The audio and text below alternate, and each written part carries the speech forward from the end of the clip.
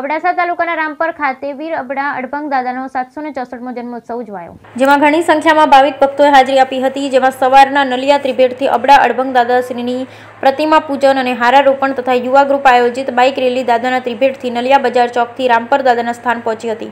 ત્યારબાદ દાદાશ્રીના સ્થાનકે વીર પૂજાશ્રી જાડેજા જસપાલસિંહ, હકુમતસિંહ તથા દાદાના વારસદોરાનું વરસ થતે શસ્ત્રપૂજા શાસ્ત્રોક્ત વિધિથી કરવામાં આવ્યું અને શ્રી મોડ જાડેજા ભાયાત દ્વારા ધ્વજારોપણ કરવામાં આવ્યું અને ત્યારબાદ મહાપ્રસાદનું આયોજન કરવામાં આવ્યું. જેમાં રાત્રે સંતવાણીનું આયોજન કરવામાં આવ્યું, જેના કલાકાર શ્રી પ્રજ્ઞ, શ્રી ભીખુદાનભાઈ ગઢવી, લોક સાહિત્યકાર કચ્છ કોહિનૂર, શ્રી દેવરાજભાઈ ગઢવી બદનીકે સંતવાણીની મોજ મનાવી હતી.